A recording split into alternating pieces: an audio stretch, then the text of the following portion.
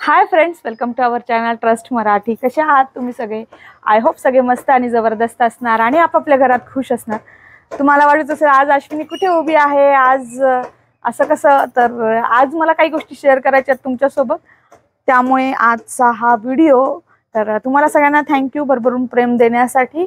आणि ही साडी आज मी का नेसली तर आज मला ही साडी रिसीव झाली आहे आपल्या इंस्टाग्रामच्या पेजसाठी तर प्रमोशन होतं त्यामुळे ही नेसली साडी. आणि हे ब्लाऊज ह्या साडीवरचं नाही आहे ह्या सेम अशा पदरासारखा सेम असंच ब्लाऊज आहे याच्यावरती. तर असं साडी तुम्हाला आवडली असेल तर लिंक आपल्या डिस्क्रिप्शन बॉक्समध्ये आहे. तर चला आपल्या टॉपिकला स्टार्ट करूया. तर कुठेतरी बसते आणि निवांत बोलूया आपण.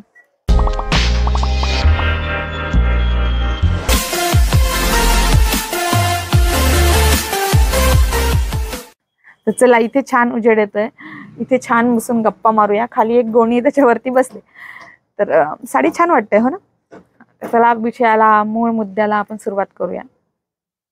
काय झालं ना खूप लोक ट्रोलिंग करायला सुरुवात केली आहे मला. त्यांना असं वाटतं मी माहेरी आहे माहेरी पडून राहते असं तसं बरंच काय काय बोललं जातं माझ्याबद्दल. तर काही जणांना मला उत्तर देणं गरजेचं आहे. मी बोलले याच्याविषयी आधी पण तर आता परत देते. काय झालं ना की वुमन एम्पॉवरमेंटच्या खूप गोष्टी केल्या जातात.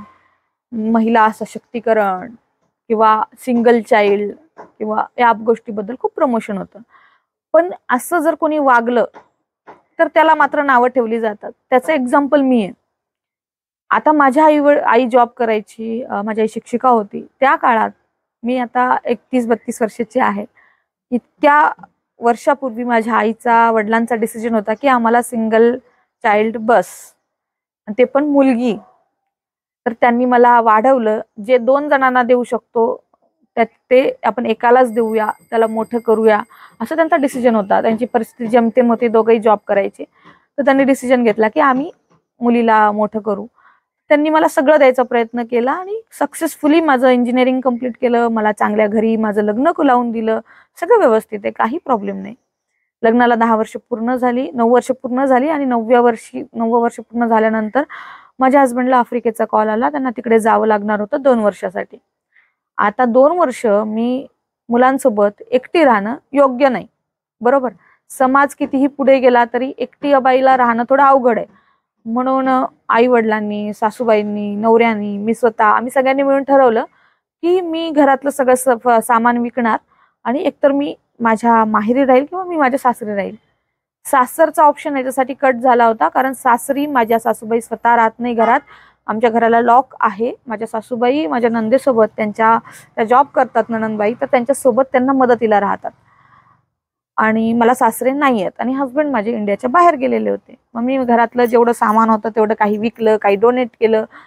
फक्त कार टू व्हीलर सुद्धा मी विकली. फक्त कार घेऊन मुलांना घेऊन मुलांच्या काही मोजक्या खेळण्या माझे काही मोजके कपडे सगळं घेऊन कारमध्ये जेवढं सामान मावेल तेवढंच सामान मी घेऊन छत्रपती संभाजीनगर गाठलं आणि इथे राहिले. इथे माझे हस्बंड मी स्वतः स्कूल शोधले जवळपास आणि त्या स्कूलमध्ये मुलांचं ऍडमिशन केलं.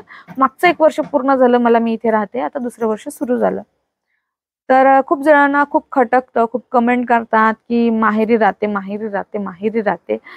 तर त्यांना सांगायचं की थोडे विचार मोठे करा. माझे आई वडील वडिलांचे तीस वर्षापूर्वीच विचार एवढे प्रगत होते. त्यांनी मुलीला जन्म दिला मुलीला लहानाचं मोठं केलं सिंगल चाइल्डला आणि आज माझ्यावर वेळ आली तर ते माझ्या सोबत उभे आहेत.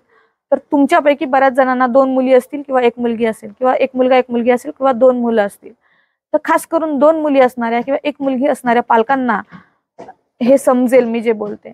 उद्या जर तुमच्या मुलीचे हस्बंड काही कामानिमित्त ऑफिसच्या कामानिमित्त एक वर्षासाठी दोन वर्षासाठी जर इंडिया सोडून जाणार असतील आणि ते त्यांच्या मुलांमुळे इंडिया सोडून नाही जाऊ शकत आहे दोन वर्षासाठी तर तुम्ही त्या मुलांना तुमच्या मुलीला एकटं सोडाल का?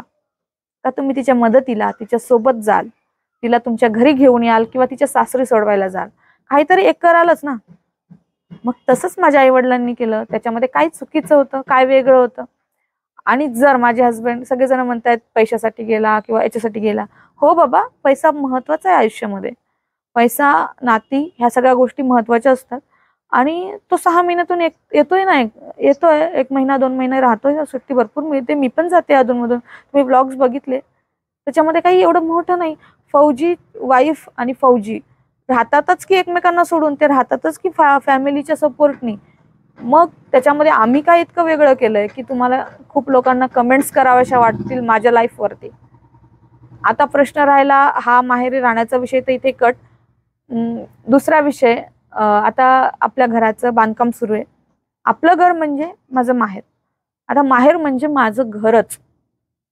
माझ्या बांधकाम चालू आहे मी थोडे क्लिप्स पण इथे ऍड करते त्या बघा तुम्ही. पाणी नाही आहे सध्या. पावसाळा इथे पावसा खूप पाऊस अजिबात पडलेला नाही आहे त्यामुळे बोरिंगचं पाणी पूर्ण आटलंय. टँकरने पाणी घ्यावं लागते चॅलेंजेस खूप येत आहेत. वाटलं होतं पावसाळ्यात बांधकाम सुरू करू.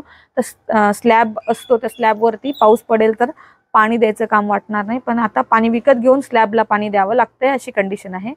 आणि घर बांधतोय ह्या दृष्टीने की आपल्या घरावरचे जे दोन्ही फ्लोअर आहेत. आधी एकच फ्लोअर कन्स्ट्रक्ट करायचं ठरलं होतं. पण आता अजून एक फ्लोअर कन्स्ट्रक्ट करायचं आहे तर हे कन्स्ट्रक्ट करण्याचा मा उद्देश असा आहे उद्या मी इंडियात किंवा इंडियाच्या बाहेर माझ्या नवऱ्यासोबत राहायला जाईल माझ्या मुलांना घेऊन. आणि माझ्या एवढे लेकटे असतील तर त्यांना कोणाचा तरी सपोर्ट असावा. भाडेकरू असले की कसे ते आडी अडचणीला तब्येत बिघडली काही पण झालं तर ते मदतीला धावून येऊ शकता कारण असं म्हटलं जातं की नातेवाईकांपेक्षा शेजार कधीही लवकर येतो. आणि ते कसे सगळ्यांचे बंगलो टाईप घर आहेत आणि थोडेसे दूर दूर घर आहेत. सगळ्यांचे कंपाऊंड वॉल वगैरे आहे. तर दुसऱ्यांना कोणाला हाक मारेपर्यंत वरचे लोक धावून येतील अशी उद्देश. नाहीतर इथे दोन एक घर सोडून माझी मैत्रीण राहते एम डी डॉक्टर आहे. समोर वकील आहेत. चांगले चांगले पोस्टवरती आहेत आजूबाजूचे सगळे लोक. त्याच्यामुळे काही इथला प्रॉब्लेम नाही आहे शेजार धर्म आईने खूप छान सांभाळला आहे माझ्या. त्याच्यामुळे इथे माझ्या वडिलांना एकदा अटॅक आला होता तर शेजारच्याच दादानी माझ्या वडिलांना हॉस्पिटलमध्ये नेलं होतं. त्यामुळे मी ह्या उद्देशाने बांधकाम सुरू केलेलं आहे. आपलं बांधकाम सक्सेसफुल स्टार्ट झालंय. आणि विशेष म्हणजे घर आपलंच आहे. आई वडिलांचं काय आणि माझं काय? आपलंच. मी वा वारसदार आहे ह्या प्रॉपर्टीचा बक्षीसपत्र केलंय माझ्या नावाने. आता ह्या सगळ्या गोष्टी इतक्या डिटेलमध्ये सांगायचं तात्पर्य असं की बरेच लोकांनी अफवा उठवल्यात की माझा भाऊ येतोय प्रॉपर्टी मागायला. माहीत नाही कुठून विचार येतात लोकांच्या मनात. जो भाऊ जन्मलाच नाही तो प्रॉपर्टी मागायला कसा येईल हो? काही पण. तर हे असं काय काय कमेंट्स आणि काय काय व्हिडिओज बनतायत माझ्यावरती. आणि त्यामुळे मी खुश आहे की माझ्या माहेरचं घर मी कन्स्ट्रक्ट करू शकते. याच्यापेक्षा आनंदाची गोष्ट कोणती असू शकते? संसार सांभाळून मुलांना सांभाळून या सगळ्या गोष्टी करून जर मी घर बांधू शकते मोठी गोष्ट आहे. काही सेविंग आहेत माझ्याकडे. त्याच्याने मी माझं घर बांधते हे. मी सोशल मीडियावरती काम करते काही ऑनलाईन काम केले काही ट्युशन्स घेतल्या मध्यंतरी मी इंजिनिअरिंगचे क्लासेस घ्यायचे. त्यामुळे माझ्याकडे काही बँक बॅलन्स होतं. त्याच्या जोरावरती आणि वडिलांचं सपोर्ट काही हस्बंडचा सपोर्ट असं मिळून हे घर कन्स्ट्रक्ट करायला काढलेलं आहे.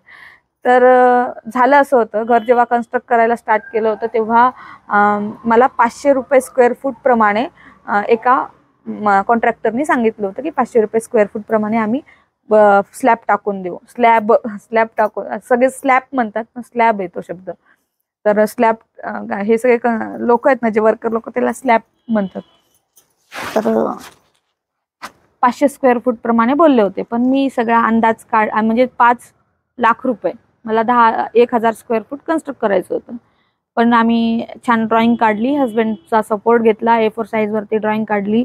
आणि कारण माझं इंजिनिअरिंग झालं हस्बंडचं पण झालं आहे ड्रॉइंग आम्हाला शिकवतात इंजिनिअरिंगमध्ये तर ड्रॉइंग काढली आणि त्या ड्रॉइंगच्या आधारावरती आम्ही कॅल्क्युलेशन्स काढले किती मटेरियल लागेल आणि ते मटेरियल आणलं मजूर लावले आणि एक कॉन्ट्रॅक्टर लावला जो हे सगळं मट हँडल करेल कारण याला प्लेट्स वगैरे सगळं लागतं ना वरती स्लॅबला तर ते सगळं काढायला आम्हाला दोन लाख सात हजार रुपये खर्च आला म्हणजे एका स्लॅबसाठी तर असं सगळं झालेलं आहे.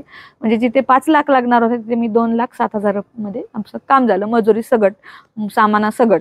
तर आता अजून एक स्लॅब वरती पडणार आहे आपल्या घराचा. आनंदाचा दिवस आहे. आनंद आहे. आनंद होतोय. कारण बाकी लोकांसारखं म्हणजे जे लोक आहेत ना जे मला नाव ठेवत आहेत माझ्याविषयी वाईट वाईट बोलत आहेत खरं तर ना त्या आपल्या आयुष्यामध्ये सुखी नसतील. त्यांना असं वाटतंय की त्यांचं काहीतरी वाईट होतंय म्हणून मला आनंद होतोय. तर तसं नाही. माझ्या आयुष्यात आनंद होण्यासाठी भरपूर वेगवेगळी कारणं आहेत. मी माझ्या आयुष्यात खूप खुश आहे आणि कन्स्ट्रक्शन चालू आहे छान. आणि एक भाडेकरू होता जो खूप त्रास देत होता घर सोडत नव्हता तर त्यांनी पण घर सोडलं. नवीन भाडेकरू मिळाला नवीन घराला मुंबईच्या घराची गोष्ट. तर त्याच्यामुळे ते पण एक काम झालं अडकलेलं काम आपलं व्यवस्थित झालं. तर अशा पद्धतीने बरीच अशी गोष्टी घडत गेली आणि आत्ताच हस्बंड येऊन गेले. त्यामुळे खुश अस खुश तर मी असणारच. ते आले होते राहिले पण मी काही ब्लॉग्स वगैरे जास्त बनवले नाही. भरभरून त्यांना टाईम दिला. आणि आता अजून एक स्लॅबवरती पडणार आहे. म्हणजे पाच लाखाच्या आत माझे दोन स्लॅब कंप्लीट तर असं सगळं झालेलं आहे. मग नंतर विटकाम सुरू होईल मग फरशी मग लाइट फिटिंग ते जे जे जे होईल कलरिंग ते सगळं मी आपल्या ह्या चॅनलवरती शेअर करणार आहे वन बाय वन आणि जे लोक बोलतात ना त्यांना मला पा असं सोडून दिलेलंच आवडेल की तुम्ही तुम्ही बोलत राहा. पण मन हलकं करावं असं वाटलं की तुम्ही नारी सशक्तीकरण बोलतात. तुम्हाला देखील मुलगी असेल तुम्हाला देखील मुली असतील आणि तुम्ही असं बोलता माहेरी पडलेली आहे. पडलेली वगैरे काही नाही आहे आणि खूप बिचारी विचारी पण मी नाही आहे एज्युकेशन आहे डिग्री आहे. भलेही मला माझ्या डिग्रीवर आज जॉब मिळणार नाही कारण भरपूर गॅप झाला. मी जॉब नाही करत आहे. मी एखादा कोर्स केला कंप्लीट केला सपोर्ट दिला तर मी कुठेही जॉब करू शकते. आई वडील मुलांना सांभाळू पण शकतात. त्याच्यामुळे माझ्या जॉबची माझ्या राहण्याची कोणीही चिंता करू नका. आयुष्य आहे. मला आम्ही एक गोल डिसाईड केला आहे. त्या गोलपर्यंत पोहोचायचं आहे आणि पोहोचण्यासाठी ही माझी जर्नी आणि ती जर्नी खूप सुंदर आहे. मी एन्जॉय करते. आई वडिलांकडे जाण्यासाठी महिला चार दिवस माहेरी राहण्यासाठी तरसत आहेत. आणि मला दोन वर्ष राहायला मिळते. तर आनंदाची गोष्ट आहे ना. सासरी पण जाते माहेरी पण राहते. आनंद आहे. चांगलं चांगलं आहे कन्स्ट्रक्शन चालू आहे. आणि इथून पुढे जे जे होईल जे जे बांधकाम होईल ते मी तुमच्यासोबत शेअर करेल. आत्तापर्यंत तुम्हाला सांगितलं एका स्लॅबला मला पाच लाख लागणार होते विथ कन मटेरियल मी विथ मटेरियल एका स्लॅबला दोन लाख सात हजार रुपये खर्च केले.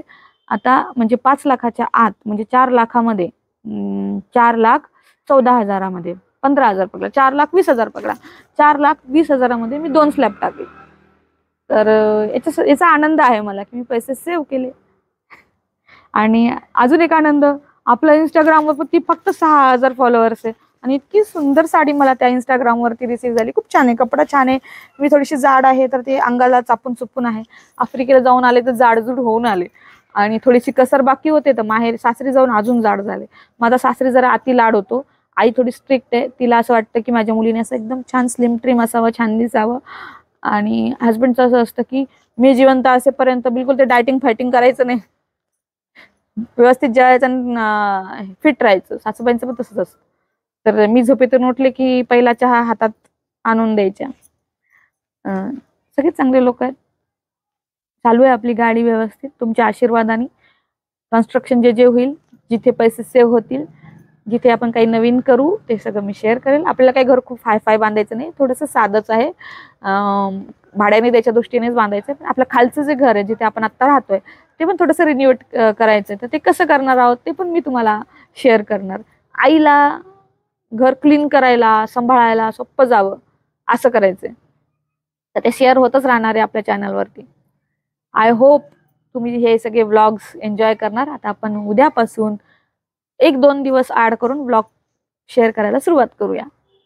तर भे जर आत्तापर्यंत तुम्ही आपल्या चॅनलला सबस्क्राईब केलं नसेल तर नक्की सबस्क्राईब करून ठेवा आणि भेटूया पुढच्या व्हिडिओमध्ये. थँक्यू फॉर वॉचिंग आवडला असेल तर लाईक शेअर आणि सबस्क्राईब करा.